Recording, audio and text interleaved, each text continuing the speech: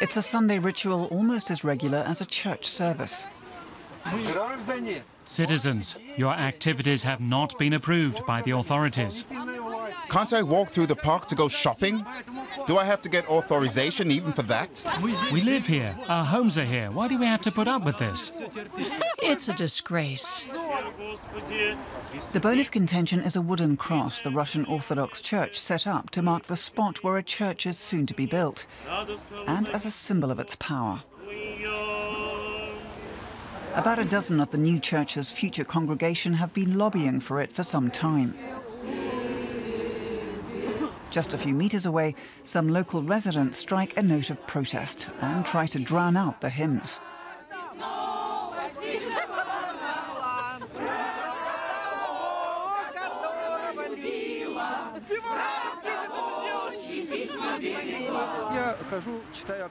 I pray for these non believers.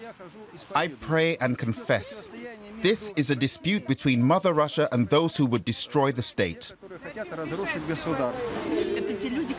Those people over there aren't true Christians. True Christians don't act like that. But we live here, we take walks here, sing our songs, and in the summer our children play in the park. Where else can they do that?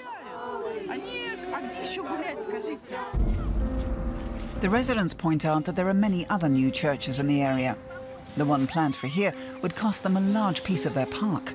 And in Moscow, parks are few and far between, while there are more than enough churches. They also criticize the church in general, saying it's gaining ever more power in Russia. Its power comes from the state, bolstered by the police and the media.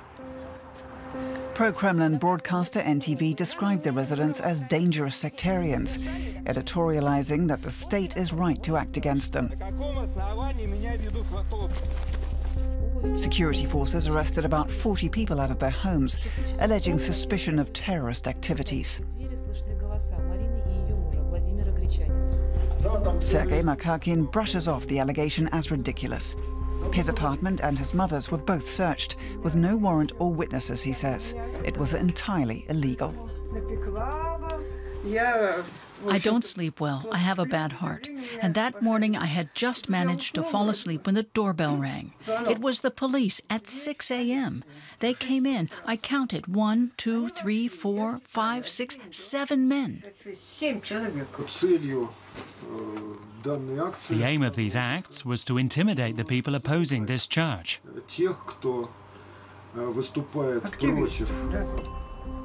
The church itself insists that the cross in the park is a symbol of Christianity and that anyone who opposes it opposes the state religion.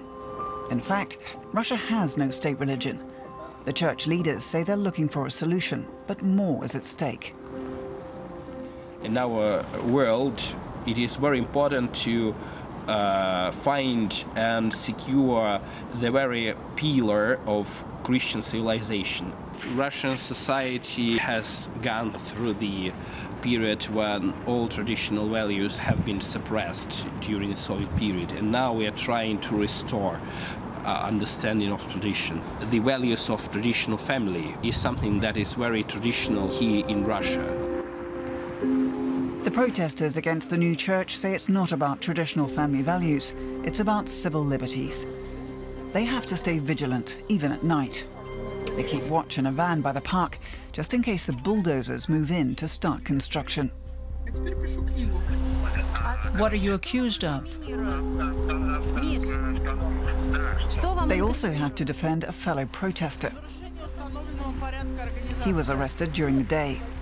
The Torfyanka activists are stunned. They're learning that a high price must be paid for civil disobedience in Russia.